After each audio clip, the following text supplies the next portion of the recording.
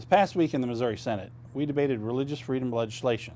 Senate Joint Resolution 39 would allow citizens of Missouri to consider constitutional protections for religious organizations and certain individuals with sincere religious beliefs. This legislation is a shield to protect individuals and their right to religious freedom.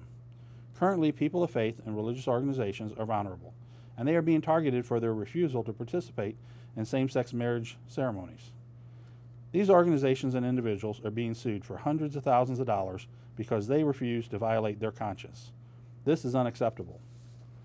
The legislation was filibustered by lawmakers for nearly 40 hours. During the filibuster, Senate Republicans tried to negotiate, but it became clear that a compromise could not be reached.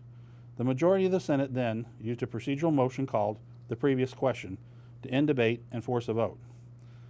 SJR 39 passed the Senate by a vote of 23 to 7. If the Missouri House of Representatives passes SJR 39, it'll go to the vote of the people, and you will have the ability to let your voice be heard on this important matter.